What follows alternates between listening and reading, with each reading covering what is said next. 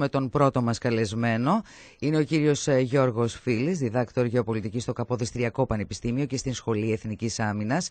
Να σας καλωσορίσουμε και να σας ευχαριστήσουμε. Είναι η πρώτη κουβέντα που θα κάνουμε μαζί εδώ στην ε, εκπομπή. Κύριε Φίλη. Τιμή μου, τιμή μου κυρία Μποτίτση, σας ευχαριστώ πάρα πολύ για την πρόσκληση. Πραγματικά, πραγματικά είναι δική μας ε, η χαρά και η άμεση έτσι, ανταπόκριση σας κύριε Φίλη.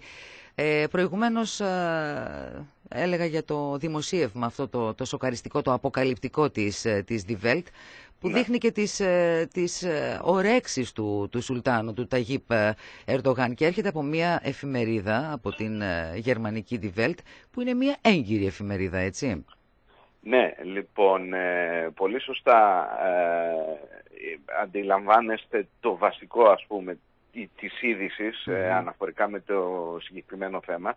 Η Die Welt να υπενθυμίσουμε στους φίλους ακροατές και ακροάτριες ότι ε, χτυπάει τον Ερντογάν και υπήρχε, υπήρχε Τούρκος ανταποκριτής της Die Welt ο οποίος πέρασε πάνω από ένα χρόνο στη φυλακή άμα θυμάστε Το θυμόμαστε αυτό κύριε Φίλη βέβαια. Λοιπόν, Άρα λοιπόν θέλω να πω ότι πρώτον και κύριον είναι μια εφημερίδα η οποία είναι μαχητική απέναντι στο καθεστώς Ερντογάν. Αλλά βέβαια δεν θα πρέπει να ξεχνάμε ότι κάνει, και, κάνει το δημοσιογραφικό της καθήκον, αλλά υπάρχει και η Γερμανία ως κράτος και η, τα συμφέροντά της. Άρα μέσα σε αυτό το πλαίσιο θα πρέπει νομίζω να προσπαθήσουμε να αποκρυπτογραφήσουμε τι ακριβώς σημαίνει αυτό το, το γεγονός που αναλύει. Το πρώτο, το βασικό είναι το απλό ότι ο κύριος Ερντογάν μέσα στα μαξιμαλιστικά του σχέδια και στις ε, φαντασιώσεις του προσπαθεί να δημιουργήσει ένα επεισόδιο το οποίο, προσέξτε, να μην οδηγήσει σε πόλεμο. Όταν σου λέει να μην έχεις πολλούς νεκρούς και πολλά θύματα, ναι. εννοεί ναι μεν να φαίνεται ότι εμείς έχουμε το πάνω χέρι, δηλαδή οι Τούρκοι, αλλά, αλλά μέχρι να, εκεί. μην ανα... μέχρι εκεί, να μην ναι. αναγκάσεις τους Έλληνες να σου επιτεθούν μετά. Μέσα στο φαντασιακό του θεωρεί ότι μπορείς να βυθίσεις την ελληνική φρεγάτα και ο ελληνική, η ελληνική πλευρά να κάτσει να το συζητήσει. Ναι, ναι. Εν πάση περιπτώσει, το ένα είναι αυτό. Το δεύτερο, το οποίο νομίζω αυτό είναι το πιο εντυπωσιακό της υπόθεσης, είναι ότι σύμφωνα με το δημοσίευμα, εάν και εφόσον είναι ακριβές, έτσι το υπογραμμιζω η στρατιωτική του ηγεσία φαίνεται ότι αρνήθηκε ή εν πάση περιπτώσει το ναι, συμβούλευσε κάτι διαφορετικό. Εδώ λοιπόν δύο πράγματα πρέπει να πούμε. Εάν όντως είναι αληθινό το δημοσίευμα, ναι. πρώτον, οι Γερμανοί θέλουν να περάσουν το μήνυμα ότι οι στρατιωτικοί δεν συμφωνούν ακριβώς με αυτό το οποίο κάνει ο κύριος Ερντογάν, γιατί εδώ έρχεται ο Έλληνας αναλυτής και οι γενικοί αναλυτές τους λένε το εξής πολύ απλό. Δεν έχει τη δυνατότητα την επιχειρησιακή Τουρκία να χτυπήσει την Ελλάδα. Μπορεί να πάει να βομβαρδίσει φυλάρχους στη Λιβύη μπορεί να πάει σε ένα διαλυμένο κράτος όπως στη Συρία υποτίθεται να κάνει κατοχή σε κάποια περιοχή. Μπορεί να βομβαρδίσει ένα άλλο διαλυμένο κράτος όπως είναι το, βόρειο, το Ιράκ. Αλλά χώρα της Ευρωπαϊκής Ένωσης, ε, του ΝΑΤΟ, η οποία είναι μέσα στις τέσσερις οι μεγαλύτερες δυνάμεις στρατιωτικός της Ευρωπαϊκής Ένωσης και μια πολύ ισχυρή χώρα στο ΝΑΤΟ πάλι στρατιωτικός, δεν μπορεί να το κάνει. Άρα λοιπόν εδώ αντιλαμβανόμαστε το μήνυμα το οποίο μπορεί να περνάει από εκεί, μέσα από αυτό το δημοσίευμα, ότι οι στρατιωτικοί δεν βλέπουν την όλη αντιπαράθεση με το μάτι το οποίο τουλάχιστον τη ρητορική το οποίο την βγάζει ο κ. Ερντογάν ναι. μπορεί να βέβαια να, να, να το πάρουμε και από την άλλη πλευρά ότι η Γερμανία επειδή ακόμα κλείνει το μάτι στην Τουρκία για πόσο θα ερωτούσα εγώ όχι για πάρα πολύ ακόμα νομίζω θα απαντούσα ε, προσπαθεί να εκφοβήσει. Δηλαδή το, δημο, το δημοσίευμα μπορεί κάποιος στην Ελλάδα να το διαβάσει και να φοβηθεί. Άρα, μπορεί να είναι και προπαγάνδα λέτε. Ναι, ναι, ναι. Δηλαδή ψυχολογικός πόλεμος. Να, Άρα προσέξτε, δηλαδή είναι, το, ε, είναι, είναι ένα δημοσίευμα το οποίο μπορεί να διαβαστεί και από τη μία και από την άλλη. Το σίγουρο όμως είναι, για να το κλείσω αυτό το θέμα από τη δικιά μου πλευρά, ότι υπάρχει εσωτερική αντιπολίτευση στον κύριο Ερντογάν αναφορικά με το θέμα της Ελλάδος. Γιατί του, ασκού, Ελλάδος, του ασκούνται πιέσεις λέτε. Του ασκούνται, εν πάση περιπτώσει του λένε κάποιοι να μην φέρετε έτσι απερίσκεπτα, διότι το αποτέλεσμα αυτού που θα κάνει ή θέλει να κάνει δεν μπορεί να είναι το επιθυμητό για την Τουρκία και για το ίδιο του το καθεστώς. Καταλάβατε, δηλαδή στην Τουρκία, για να κατα... ο, το, ο κύριος Ερντογάν έχει 20 χρόνια παραμυθιάσει το λαό του για συγκεκριμένα πράγματα, μάλλον να το θες να είμαι πιο ακριβής. Τα πρώτα δέκα χρόνια παραμύθιασε όλο τον πλανήτη. Δε, ποιος ξεχνάει τον κύριο Ομπάμα που είχε πει ότι ο καλύτερος του φίλος ηγέτης κράτους είναι ο κύριος Ερντογάν; Και ποιος μπορεί να ξεχάσει τους άλλους Ευρωπαίους εδώ πέρα και τους δικούς μας από το ελληνικό πολιτικό σύστημα, τον οποίο λέγανε μεγάλος Ισλαμοδημοκράτης, mm. ε, του Χριστιανοδημοκράτης. Αυτός ο κύριος Ερντογάν έχει εξαφανιστεί. Και έχει εμφανιστεί μετά το 2013, άμα θυμάται, θυμούνται οι φίλοι που μας ακούνε, τα, τα επεισόδια στο πάρκο Γκεζή, στο κέντρο της Κωνσταντινούπολεως, που υπήρχαν νεκροί που ήθελε να φτιάξει ένα Οθωμανικό στρατόπεδο επί της ουσίας, που το είχε πει, ε, το είχε πει ε, εμπορικό κέντρο, διότι περί αυτού πρόκειτο τότε, ένα παλιό Οθωμανικό στρατόπεδο να το αναστηλώσει. Λοιπόν, ε, από εκεί έχουμε μια διολίσθηση την τελευταία 7 ετία σε ένα έως και απολυταρχικό καθεστώς, ή βγάζω το έως, σε ένα πολιταρχικό καθεστώς, στο οποίο ο κύριος Ερντογάν και το σύστημά του ζει, ε, προσπαθεί να περάσει στον κόσμο ε, φαντασιώσεις και μυθολογίες μεγαλοσύνης και ε, ε, μεγαλοειδιατισμού. Μέσα σε ένα τέτοιο ετοιμόρροπο σύστημα και από οικονομικής άποψης, εάν υπάρξει υποψία, προσέξτε κύριε Αμποτίτσι, ναι. μη νίκης σε ένα πεδίο θα καταρρεύσεις στα χάρτη τους πύργους. Ναι. Άρα λοιπόν δεν είναι σοφό από τον κύριο Ερντογάν να προσπαθήσει να κάνει τίποτα με την Ελλάδα, διότι θα αποσταθεροποιηθεί το ίδιο του το, το καθεστώς και ύπαρξή του. Δεν μιλάμε για την Τουρκία πλέον. Η Τουρκία ήδη αντιμετωπίζει πρόβλημα. Ο ίδιος καταρακώνεται και η δημοτικότητά του έχει πέσει στα, στα τάρταρα μέρα με την ημέρα. Δεν χορταίνουν ε, από όλα αυτά οι Τούρκοι. Έχουν φτάσει σε σημείο να, να αντιμετωπίζουν σοβαρά οικονομικά προβλήματα. Οπότε δεν νομίζω πως του τους αρκεί αυτό πλέον. Ε, μα, ε, δηλαδή προσπάθησε να το σώσει με την Αγία Σοφιά, με το μοναστήρι, να κάνει όλες αυτές τις προκλητικές Ακριβώς. κινήσεις το τελευταίο ε, διάστημα, αλλά δεν βλέπουμε να αλλάζει κάτι. Προσέξτε, στην πολιτική, στο, στο τέλος εσωτερικό. της ημέρας, ακριβώς, είναι το εσωτερικό που θα μετρήσει, είναι η κοιλιά του ψηφοφόρου. Ναι, ναι. Ό,τι εσύ και να του δώσεις ως αυτοκρατορία, άμα πεινάει και η αυτοκρατορία δεν μπορεί να τον ταΐσει, ε, το ίδιο θα είναι το αποτέλεσμα. Αυτό είναι, φαίνεται δεν το έχει καταλάβει ο κ. Ερντογάν. Αλλά επιτρέψτε μου κύριε Μποτίτσι να επισημάνω το εξής. Ναι. Ο κ. Ερντογάν δεν τα κάνει ευκαιριακά και συγκυριακά αυτά επειδή έχει πρόβλημα στο εσωτερικό. Ο κ. Ερντογάν είναι ένας άνθρωπος ο οποίος έχει, είναι βαθιά ιδεολόγος. Άμα διαβάσει και γνωρίζει κάποιος το βιογραφικό του, φίτησε σε ιεροδιδασκαλείο. Προσέξτε τι σας λέω, σε ιεροδιδασκαλείο φίτησε ε, ασχολήθηκε, ήταν ε, ε, ο προστατευόμενος του Φετουλάχ Γκουλέν. Δηλαδή ενός ακραίου Ισλαμιστή που θέλει να περάσει στη Δύση ότι είναι ένας ε, γκουρού νεοποχήτικου, πώς να το πω τώρα, συγκριτισμού θρησκευτικού. Αλλά το αφήνουμε αυτό. Έχει θρησκευτικές καταβολές, έχει διαστρεβλώσει στο μυαλό του την ιστορία της Οθωμανικής Αυτοκρατορίας και κυρίως μισεί τον Κεμάλα τα Τούρκ και, το, και την, την εκοσμίκευση του τουρκικού κράτους. Σωστά. Λοιπόν, μέσα σε αυτό το πλαίσιο μπορεί να διαβάσει κάποιος τα ποίηματα που έγραφε στη νεότητά του, αυτό η ευαίσθητη ψυχή όπως συνηθίζουμε να τη λέω, και θα φρίξει. Όταν θα διαβάσει τι γράφει ο άνθρωπος αυτός στα ποίηματά του, γιατί καταλαβαίνετε πριν γίνει πολιτικός, μπορούσε αυτά να τα εκφράσει πολύ πιο άνετα τα συναισθήματά του. Θα καταλάβει ότι ονειρεύεται την αναστήλωση της, Ρωμα... της Οθωμανικής Αυτοκρατορίας υπό το Σουνητικό Ισλάμ, έτσι, από την νεότητά του. Αυτό λοιπόν που κάνει τώρα δεν είναι συγκυριακό και θέλω να το επισημάνω και να το υπογραμμίσω. Δεν είναι θέμα πολιτικού καιροσκοπισμού. Είναι θέμα πολιτικής ατζέντας, η οποία υπήρχε από την νεότητά του, είχε, διαμορφωθεί, είχε, τον είχε διαμορφώσει ως άνθρωπο, έτσι, και του δόθηκε η ευκαιρία, η σπάνια ευκαιρία που δίδει η ιστορία σε ορισμένους ανθρώπους, να προσπαθήσουν να το υλοποιήσουν. Ταυτοχρόνως η χώρα μας 10 χρόνια έπεσε στην έσχατη αδυναμία και γεωπολιτική απουσία από την περιοχή μας, ό,τι και να κάναν οι ελληνικές κυβερνήσεις, είναι ξεκάθαρο. Αυτό το οποίο βιώσαμε ήταν σαν να χάσαμε πόλεμο η οικονομική καταστροφή. 25% σε όλα κάτω. Ναι. Λοιπόν, αυτό το πράγμα, αυτό βλέπει τώρα ότι είμαστε νάνοι, ότι είμαστε αδύναμοι, ότι δεν μπορούν να τα βάλουν μαζί, δεν μπορούν με εμείς να τα βάλουμε μαζί τους κτλ. Θεώρησε λοιπόν ότι ήρθε ο καιρός η αδυναμία της Ελλάδος η φαινομενική να την εκμεταλλευτεί ως Τούρκος και να υλοποιήσει το σχέδιό του. Γιατί για να πάει στη Λιβύη, κυρία Μποτίτση, θα πρέπει πρώτα να κάνει δορυφόρο την Ελλάδα. Ναι. Για να φτιάξει Οθωμανική Αυτοκρατορία, αν δεν υποκύψει ο ελληνισμός, δεν μπορεί να φτιάξει τίποτα. Γιατί, Γιατί είναι η γεωγραφία. Μήπως όμως Αυτό... τροφοδοτούμε και εμείς ε, τους στόχους και τα όνειρά του με αυτήν την Φυσικά. πολιτική που ακολουθούμε, κύριε ε, φίλοι; κυρία Μποτίτση, ήρθε η ώρα να δρέψουμε τις θύελες τις οποίες έχουμε σπείρει, εγώ δεν θα σας το πω από το δεύτερο παγκόσμιο πόλεμο και μετά, από το 1974 και μετά. Αυτό συμβαίνει με, τους, με την Ελλάδα αυτή τη στιγμή.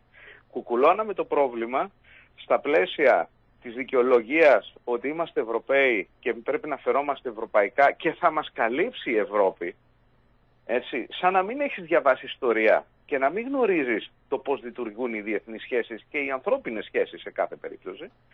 Και αυτή τη στιγμή τρέχουμε να συμμαζέψουμε τα συμμάζευτα. Ναι, αλλά δηλαδή... έχουμε φτάσει σε ένα σημείο που έχουν καταπατηθεί, έχει περάσει πλέον τις κόκκινες γραμμές που ακούγαμε, έχει προχωρήσει σε έρευνες, έχει...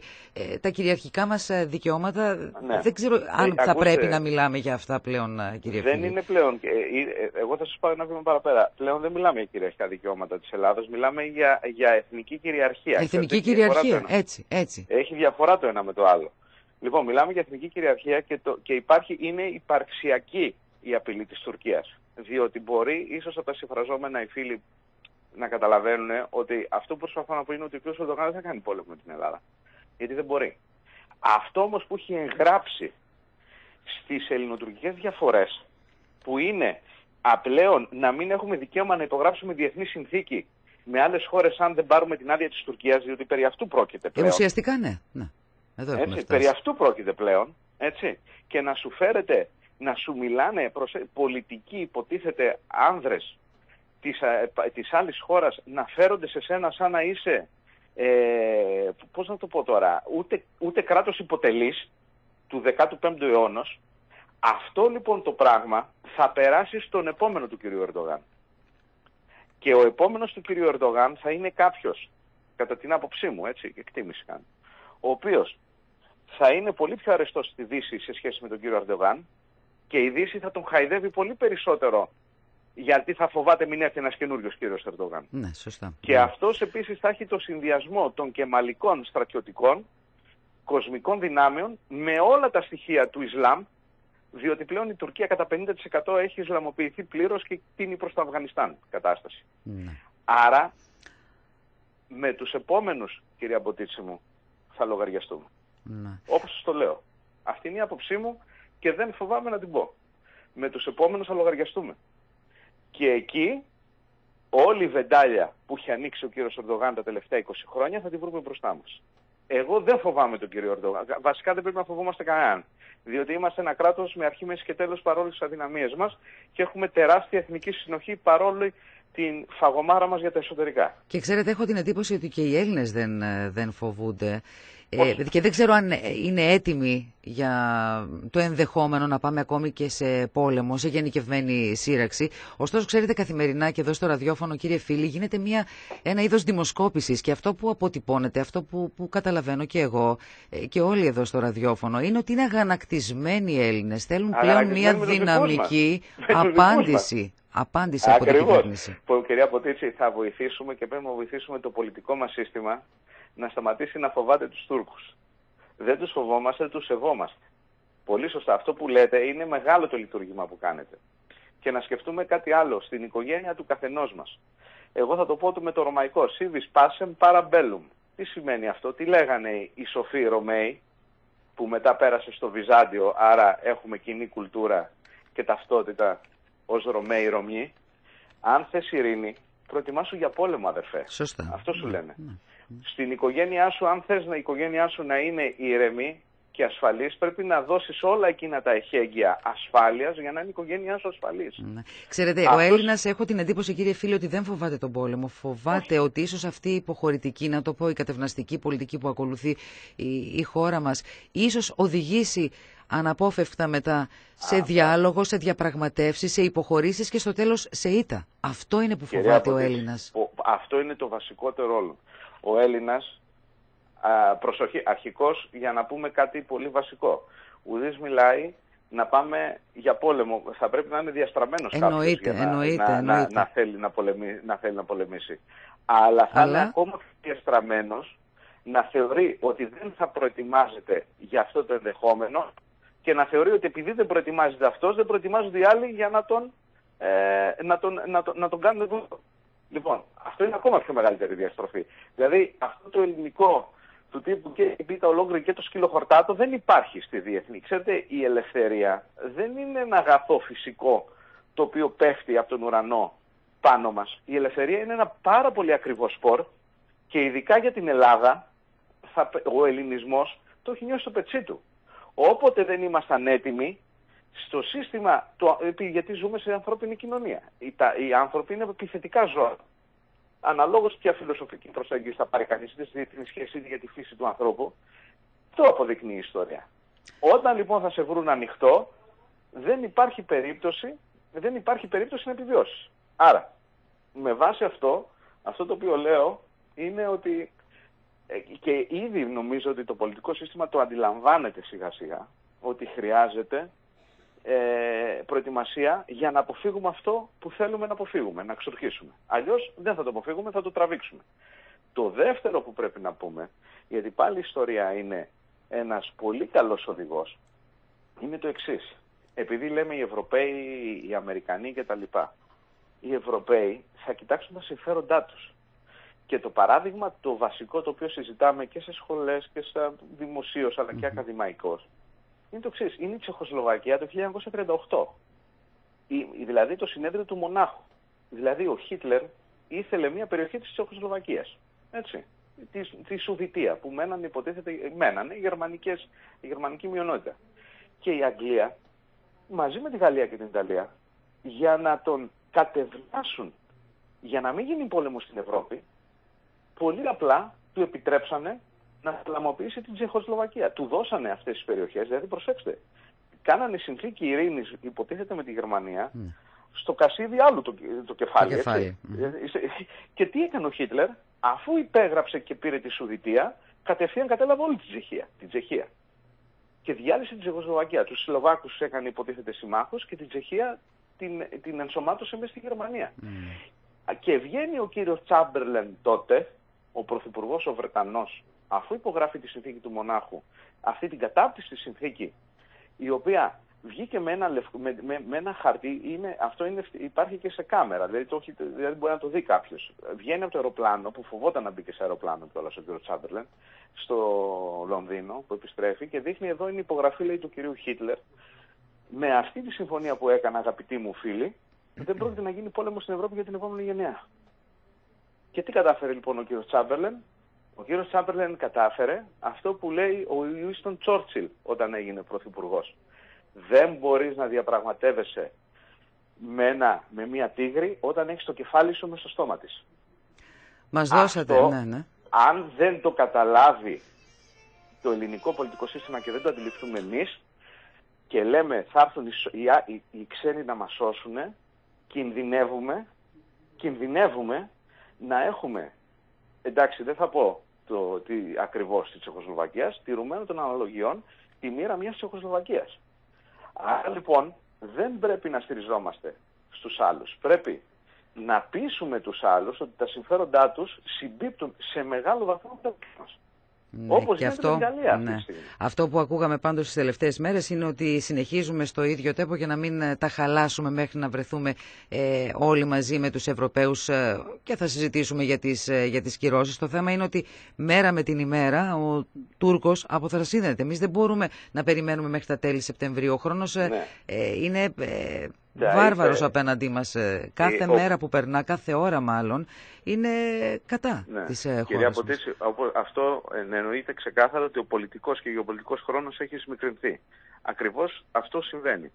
Και δεν το λέει ούτε ο Φίλης ούτε κανένας άλλος. Ο κύριος Μακρόν το είπε. Η Τουρκία καταλαβαίνει πέραν από τα λόγια μόνο με ένα πράγμα, με τις πράξεις. Ε, Γι' αυτό στέλνει και ομάδα μάχης αεροπλανοφόρου. Επειδή για να μην πούει κάποιος ότι τα λέει κάποιος Έλληνας καθηγητής και τι είναι αυτός και είναι δεν ξέρω τι, mm-hmm. ας ακούσει πολύ απλά όσοι μας ακούνε τι είπε ο κύριος Μακρόν.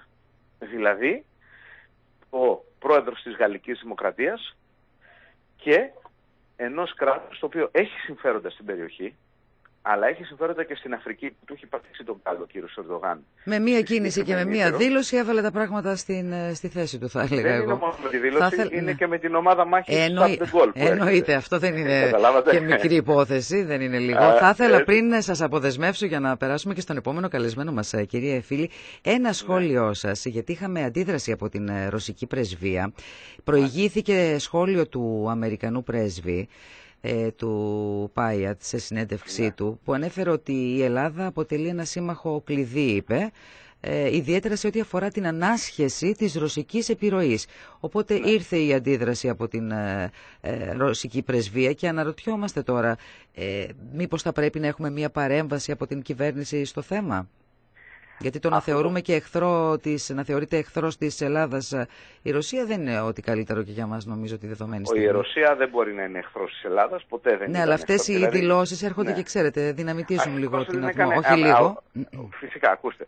Αυτό το οποίο έγινε είναι δεν έκανε δήλωση τέτοια Έλληνας πολιτικός ή ελληνική κυβέρνηση, την έκανε ο Αμερικανό. Ναι, ο Αμερικανός, λοιπόν, ναι, κατάλαβα τι λέτε. Ναι, αν θα έπρεπε να, έχουμε, να, αντιδράσουμε, γιατί ψάχνω και δεν έχουμε καμία αντίδραση όσον αφορά την, ε, την ανακοίνωση, Ακούστε. ενώ δημιουργήθηκε θέμα και από την πλευρά της Ρωσίας. Προφανώς, προφανώς. Κοιτάξτε να δείτε. Αυτή τη στιγμή ε, καλύτερα, εγώ δεν θα διαφωνήσω με την τοποθέτηση αυτή τη στιγμή ε, της ελληνικής κυβέρνησης που είναι μη τοποθέτηση για το θέμα. Δεν, ε, δεν ακουστήκατε, δεν ακουστήκατε, έκανε διακοπή. Δεν θα διαφωνήσω, λέω, με την τοποθέτηση της ελληνικής κυβέρνησης που είναι μη τοποθέτηση για το θέμα. Διότι μπορεί να το περάσει ως πολιτι... Ε, από πολιτική άποψη το εννοώ, ότι είναι μια ε, ένα ζήτημα το οποίο ανέκυψε από δηλώσεις Αμερικανού πρέσβη. Το τι θα πει ο Αμερικανός πρέσβης, αυτό που είπε ο Αμερικανός πρέσβης είναι αυτό το οποίο διδάσκουμε με γεωπολι... ως βασικό γεω... αγγλοσαξονικό γεωπολιτικό δόγμα ότι η Ελλάδα και η Τουρκία βρίσκονται μέσα σε μια συγκεκριμένη θεώρηση γεωπολιτική ανάσχεση, σε πάση περιπτώσει, της καρδιακής χώρας της Ευρασίας που είναι η Ρωσία. Αυτό είπε ο Αμερικανός πρέσβης, το οποίο προσέξτε με, γεωπολιτικός ως θεωρία το δέχονται οι Ρώσοι πάρα πολύ καλά. Γιατί δίνει κεντρικό ρόλο στην παγκόσμια γεωπολιτική σκηνή. Άρα το ξέρουν αυτό. Απλά προσπάθησαν με αυτό που κάνανε ε, να υπενθυμίσουν, κατά την άποψή μου πάντα, ότι η Ρωσία είναι φιλική προς την Ελλάδα χώρα. Γι' αυτό κάναν και τη δήλωση ότι παρόλες που στο τέλος της δήλωσης η Ρωσική Πρεσβεία ότι δεν συνάδει τις σχέσεις με τρίτο κράτος, τις σχέσεις με την Ελλάδα, θέλοντας να πούνε ότι ό,τι έχουμε με την Τουρκία είναι αυτό που έχουμε και εμείς ε, όμως έχουμε πολύ καλές σχέσεις με τη Ρωσία. Αυτό λοιπόν που εγώ έχω να πω είναι ότι η Ρωσία είναι ένας, είναι πνευματικό παιδί της Ελλάδος και του Βυζαντίου και της Ρωμιοσύνης που κατά συνέπεια μας σέβεται μέσω αυτής της ε, παράδοσης και της ιστορίας η Ρωσία πολύ σύντομα θα βρεθεί αντιμέτωπη με την Τουρκία. Ε, είναι ήδη αντιμέτωπη με την Τουρκία. Δηλαδή, το ότι μιλάει ο κ.